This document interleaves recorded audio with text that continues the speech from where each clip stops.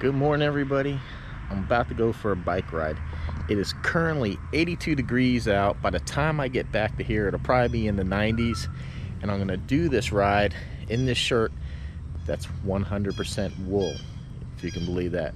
And I'll explain to you when I get back.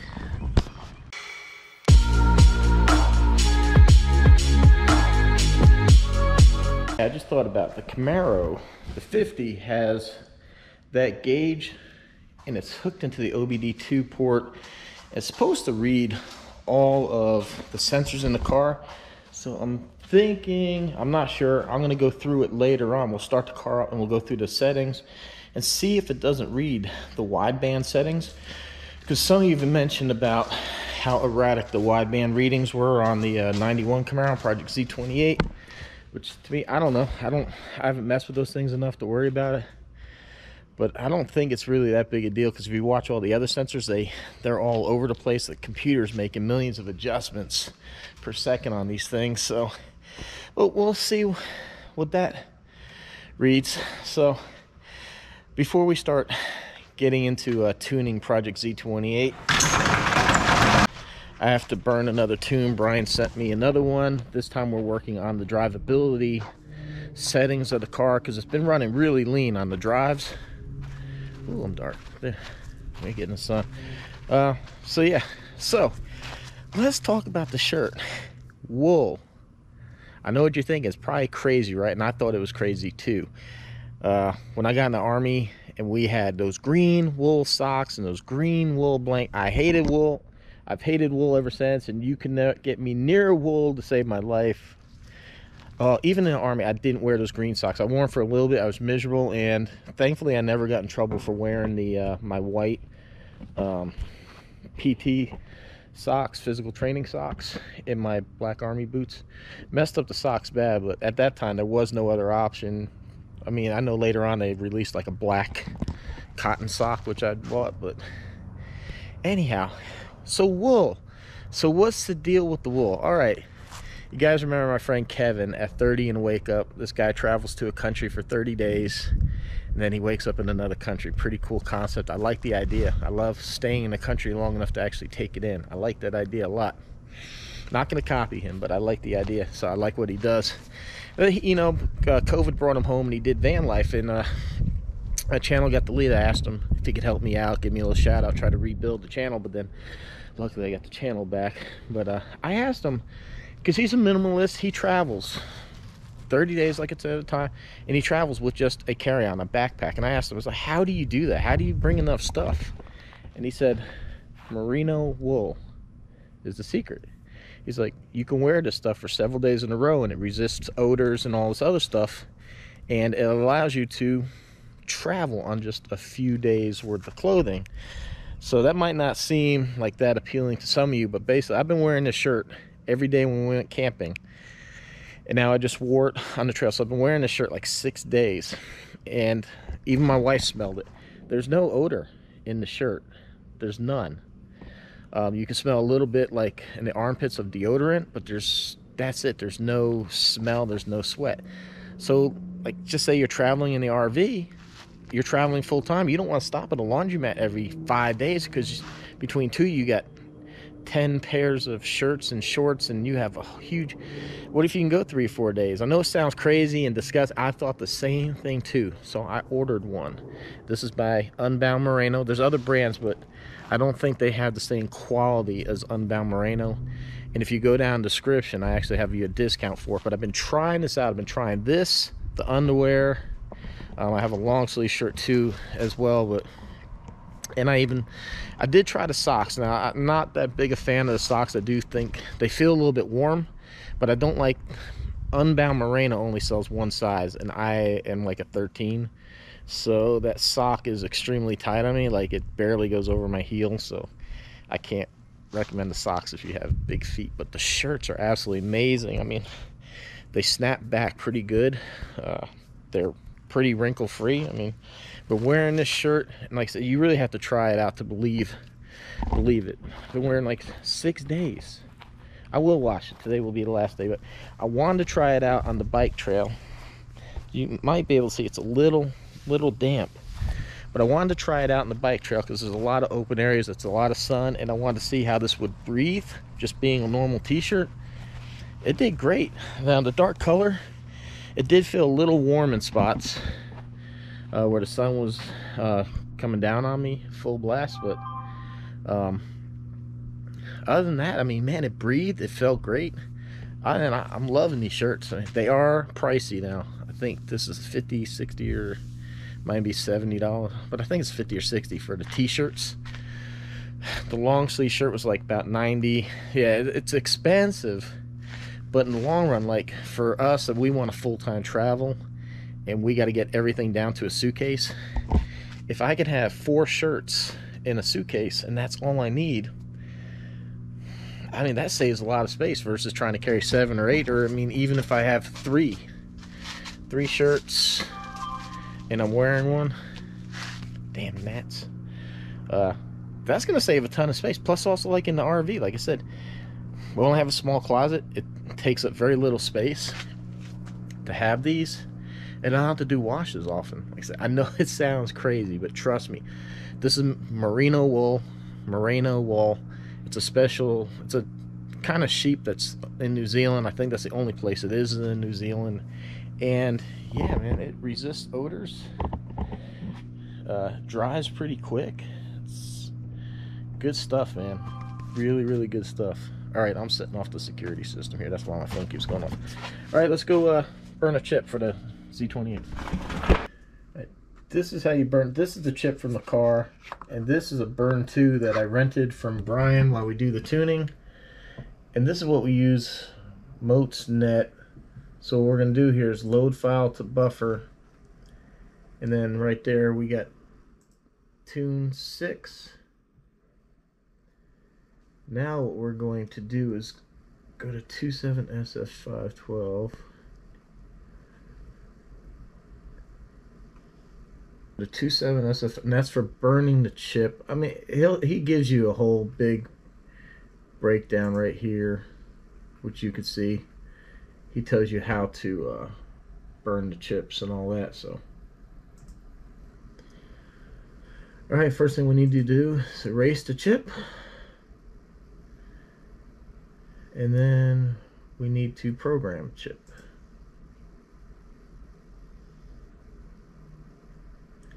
Then we're going to verify with buffer.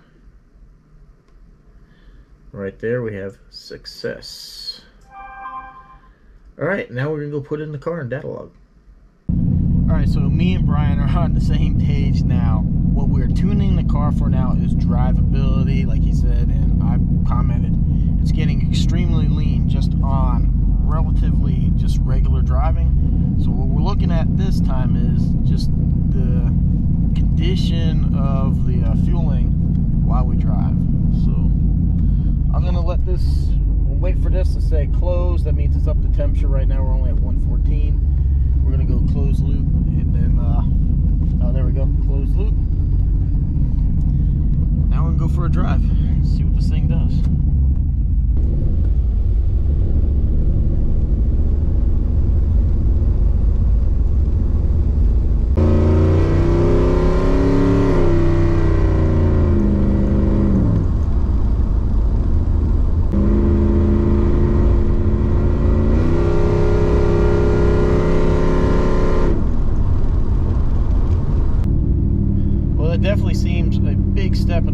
direction there. Uh, under full throttle, it's uh, it was what like 12 or 13. I think that's about where we need to be. Maybe a little bit less, but it's still reading high on general like low throttle stuff. Like right here, still reading 16, 17, just off idle.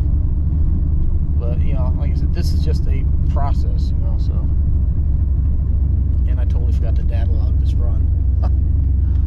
oh man let's back to the house and then we're going to get in the 50 and see what it's uh, looks like the gauge I do want to say uh, before when we had problems with the uh, idle air control valve being maxed out everybody said it was the computer or there was a problem with that and I got an argument one guy telling me uh, YouTube, Hero, listen to other people, whatever. But if you look now,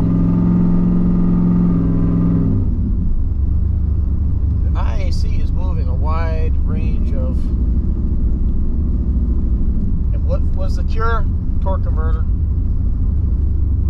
The IAC has not been changed, it's not been reset, it's not been programmed. Nothing's been changed since we were last having issues. The only thing we've done in this car is a uh, torque converter.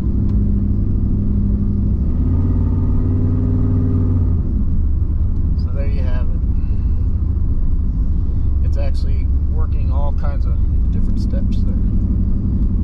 All right, now, now, now we'll go to 50. Be honest with you, I don't know what is what. This one says 02.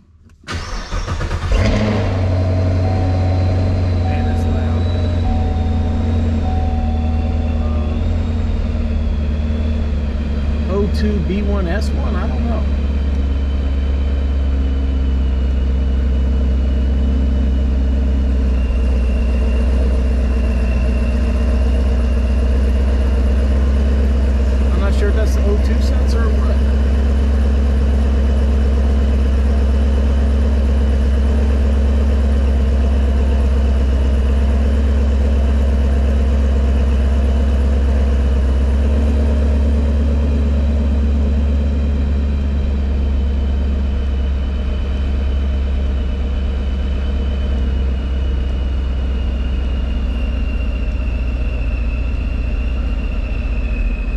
Mass airflow. Let's see how much that moves around. I don't understand. Throttle percent's at 16.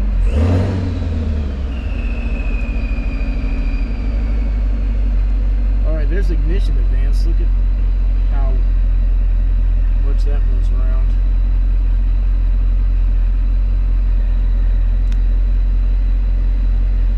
Short trim. long trim, fuel status CL. There's your rail pressure bouncing around a little bit. Wow, the rail pressure really. Um, there's barometric pressure, battery, lambada. I have no idea. This thing gives me more than what I even air fuel ratio 0.99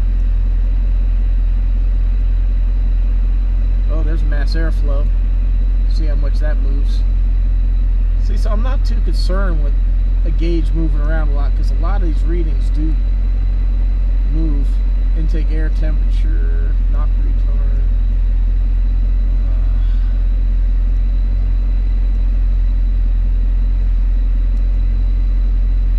Oh, there's O2. Oh, this is the O2 sensor again. Now look at how much that one's moving around.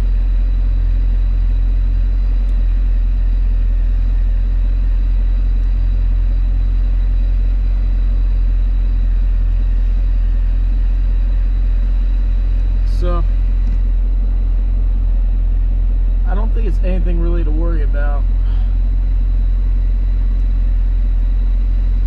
I think it's going to do this no matter what. But yeah, there we go. Intake air temp. I like keeping it there because I had that big intercooler on this car. So I always like to see my boost in the air intake. That's what I use it for. Alright everyone, so the weather really hasn't been playing very nice for me to get any further tuning done on the car and I want to get this video posted. Brian has made some changes and I'll discuss that on the next video. You know, I have to leave you with a cliffhanger so I get you to come back for more. Also, you might have caught during the data log something in the car broke. I had the part on order, so that's coming as well. So if you want to help with the repair costs, the continuing thing, please do me a favor. Go down to my Teespring store, get you some nifty merchandise like this beautiful cup here with the new logo. You can still also get Project Z28 merchandise and the L to the W stuff is still there as well. You know, I'll never get uh, do away with the name. I still have the Instagram and Facebook account, so make sure you follow me on all the platforms. Uh, links are down below. Also, do me a favor if you shop Amazon, just go to my store. Save as a favor when you go to Amazon. Just launch my store and then do your shopping. I get a commission on what you buy, and it's all anonymous. I don't know who you are. I don't know what you buy, but it really helps me out. Best thing is it adds nothing to your cost. So, you know, Bezos and that, he has enough money. So I get a little part of the sale. So, yeah, help, help me out there. It would be greatly appreciated. That's like I said, you go through the Teespring store, you get some pretty cool merchandise. Alright, so before I go, I want to share this video. It's from Russia. To me, it's absolutely hilarious. Um, they have a great public transportation system there, and pretty much through Europe. Uh, you know, way more public transportation than we see here in the States. You know, when we're in Moscow, they have a great subway system. You have buses that run on electric, so you see power lines everywhere up in the air. The buses run on that.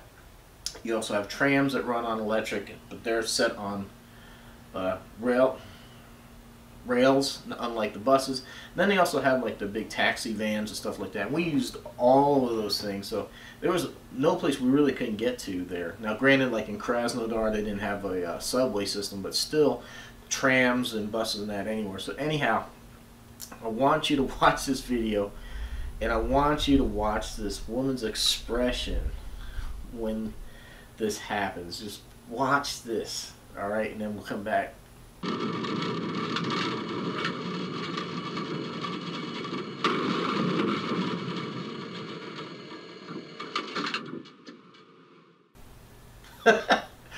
oh man, it's freaking cold, man. Like no emotion from her whatsoever. And I hate to say it, but you, ladies, you know when something happens, you usually scream your lungs out. This lady didn't even flinch, man. She just boom into the car. Like you could tell if you watch, you can even rewind, go back. You can tell she sees the car coming. It looks like she's throttling back or maybe hitting the brakes. She just goes back, sits there, and she knows the like hit's inevitable. Like this is a daily occurrence. Like this doesn't even move. She doesn't look to see the person. Nothing, man. Just slams into it. It's a, it's a it's an older video I saw a long time ago, but I came across it again, so I screen captured it. Uh, absolutely, to me, it's just hilarious how this this lady has no emotion whatsoever driving into that car. Ah, anyway, it's funny. It adds something a little bit different to the video. So. Uh, stay tuned. We got more tuning and repair work to do on this car. Hopefully the weather will hold out enough. I can get the new tune in here and then we can data log and stuff like that. And Brian can get this car dialed in and we can get it dyno tuned. Uh, so stay tuned for that. Please subscribe if you haven't. Like, shares, comments appreciated. Links down below. Got a ton of discount codes for you down there for all types of stuff. And uh, guys, man, you guys are the best. You keep me going, man. The, the, subscribers, you reach out to me, comment on the videos, reach out to me on Instagram, Facebook, and message me, man. I do appreciate it. It means a lot. So thank you very much. Until next time, stay safe, and we'll see you on the next one. Thanks for watching.